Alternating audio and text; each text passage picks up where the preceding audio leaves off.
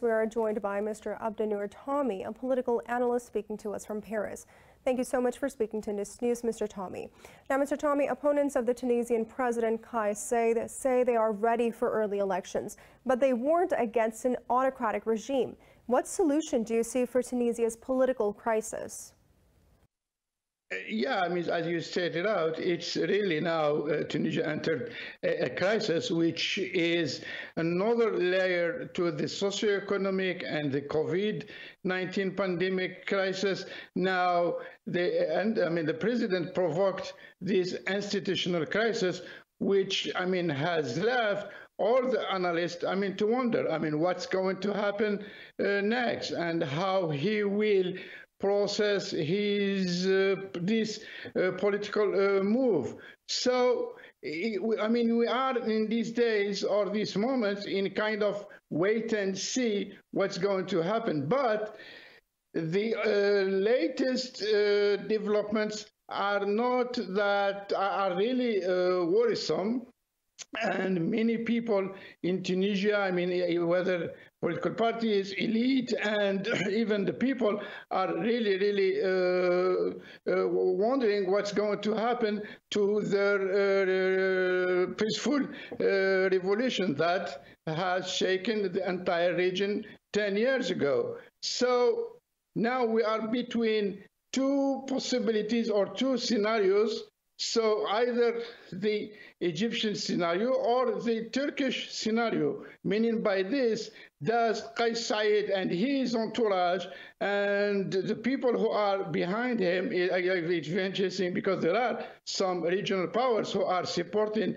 his move, so will continue and push to the Egyptian scenario, which means a coup, I mean, directed, explicit coup, or the uh, people in Tunisia, the political parties, the elite, and the uh, uh, human rights activists who have been fighting for the freedom and liberty for decades.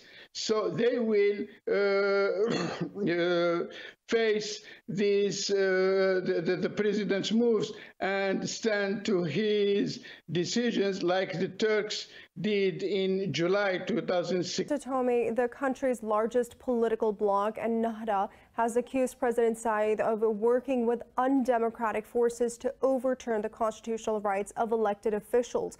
What is your take on this? I mean, yes, I mean, they are right. Actually, whether now everybody is blaming another and putting the blame on the Ennahda, which is, I mean, to some extent, and to be fair to this political party, the, the Ennahda movement is doing anything to maintain the uh, stability of the country and to let this learning democratic process to thrive. So therefore, the other side, so who are like putting the blame on the Ennahda, who are the real obstructionists uh, and rejectionists to any move that will break, I mean, help the Tunisians, uh, political leaders, and notably the uh, president and the uh, House uh, Speaker, uh, Rashid Al-Ghannouchi, to break through to the crisis. Now, and there is this kind of frontal clash between the two leaders. And like the late president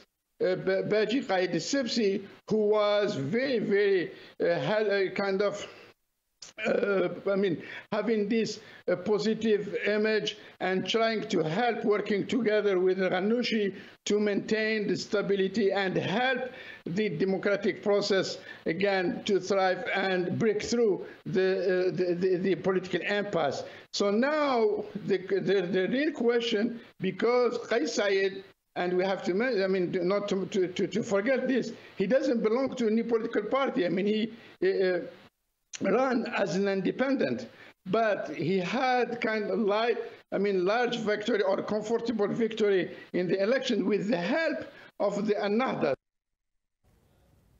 Mr. Toumi, do you see the international pressure on the Tunisian government as it has contacted with the world bodies and regional powers to assure them that the president's extraordinary measure is temporary?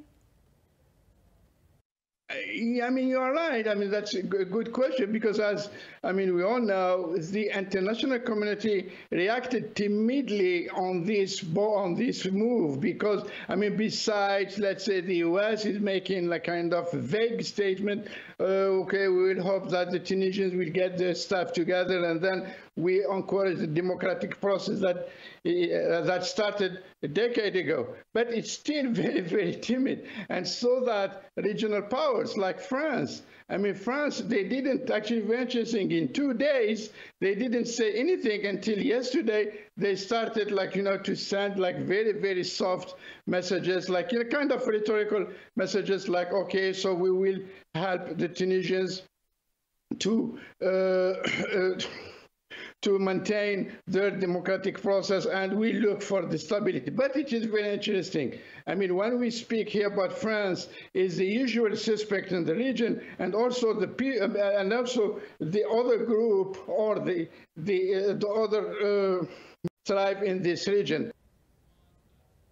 Mr. Abdennour Toumi, thank you so much for speaking to Indus News.